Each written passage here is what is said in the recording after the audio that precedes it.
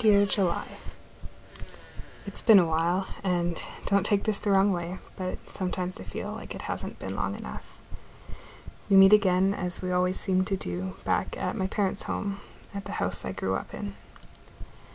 One of my favorite books talks about how the concept of home necessitates the concept of an elsewhere, a movement to a contradictory place.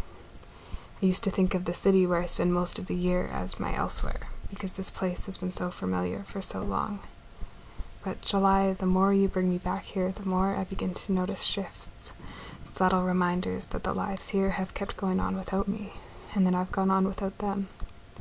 And that used to upset me, but now, now it's okay, because I can feel the roots growing in my elsewhere, in the city that used to feel so unfamiliar, that used to feel so much more than four hours away. The longer I'm away from it, the more I want to slip back into my life there.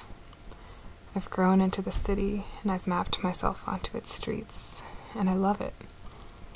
But July, if that place is the one pulling me back, if that place is becoming home, then what does that make this one? All my love, Emily.